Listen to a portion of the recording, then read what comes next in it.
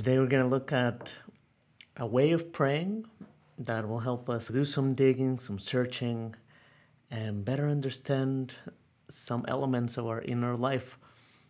This is a form of prayer that we didn't think about too much for, for many years as Jesuits. And only recently, uh, Adolfo Chercoles, a Jesuit from Spain, kind of opened up the meaning of this prayer how it is useful today. He's a psychologist, and um, he looked at it from a different angle.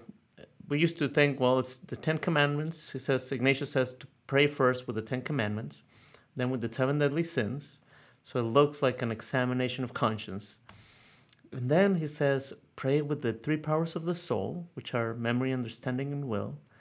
And then with the five senses. And you think, what does this have to do with with anything? And what Adolfo Chercoles said is that if you look at it from the perspective of what doing that in that order will do is that it helps you do a very deep search for where is this lack of freedom that I encounter in me coming from and to invite the Lord there. So we can think of the Ten Commandments, we know them. They're basically things where we get in big trouble, where we have God's dream for the world, and we see that our way of doing things is at odds. Ignatius says, you know, this is not something that you are finding yourself breaking regularly, it's probably not something to look at, but there might be other kind of big trouble that we realize we get into in the spiritual life. We know the Ten Commandments abandoning your father and your mother when they're in their old age, stealing. But every time they happen, they're just the tip of the iceberg.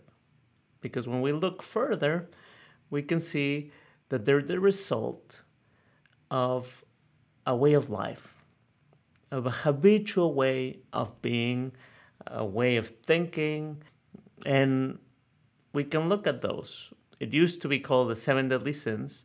Now we talk more about habits. You can see, for example, lust. Somebody that is delighting in all kinds of thinking or objectivizing the other for my pleasure.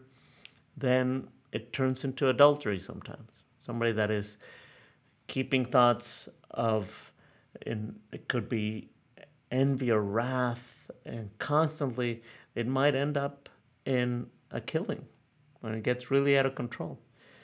Sloth, uh, greed, pride, all of these are ways of being, a way in which I constantly relate to pleasure, for example, with lust and, and with gluttony, uh, to sloth, the way I relate to action and decisions, the way I relate to my goods and the goods of others, envy, the way I relate to money, greed, the way I relate to myself and how I see myself a lot of times is where pride comes from and wrath even.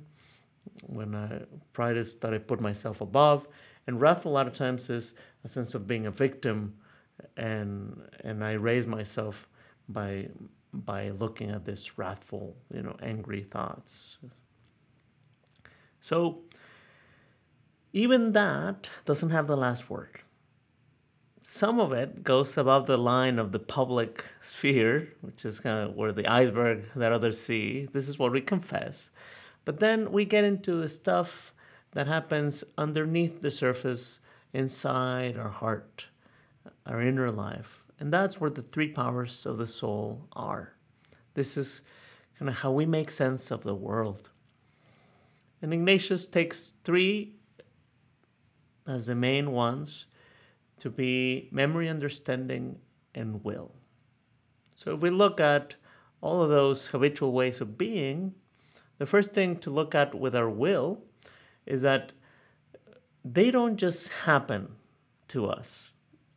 A lot of times we tend to enter into some of this almost like, well, we can help it. But if we go eh, to the actual moment where it happened, there is a part of me that makes a decision. Mm, and for one person is different than the other, what triggers us. And that's where we do a little bit of digging. How did I come to these decisions about constantly thinking about this or that, or constantly relating in this way or that? And if I do a little digging, then I can look at my understanding. Meaning, I understand that if I don't defend myself, then others will abuse me, for example. So I'm constantly harboring thoughts of violence. Hmm. I understand that if I don't eat now, I might not have food later. So constantly think about food. I understand that you name it. With each of them, they each might have several paths. For one person, the thing with food could be one thing, for another, it might be different. Might be having to do with pleasure. That if I don't eat now, who's going to take care of myself if I don't take care of myself? And life is tough, and I've worked so hard, so I might as well eat now. Um, with decisions, a lot of times it has to do with I tried once and it didn't work out, so I'm not going to put myself on the line anymore. Or I've experienced violence, so I need to really make sure I know why it was wrong and how I'm going to defend it. And with all of this, there's an understanding about life, about those relationships that is getting out of, blown out of proportion. And if I look at that, then I could probably connect with another very important piece, which is my memory. There's real stuff that has happened to me. A lot of these understandings, we come to them as a way of protecting ourselves. A lot of times when we're, young, when we're younger. And this also connects with our senses, with my experience. I've had real experiences of difficult things that I've been through and that's how I came to make sense of the world. The things that I've touched, smelled, tasted, seen, heard, ways in which I've been called things, ways in which I've been uh, mistreated. And, and some of these things, God doesn't want them.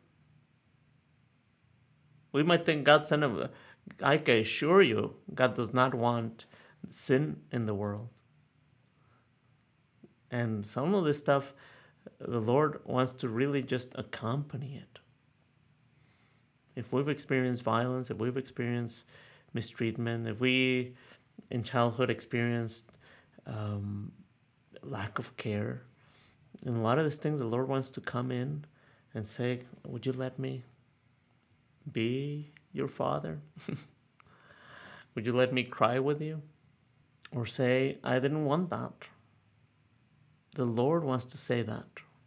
The Lord is the way, the truth, and the life.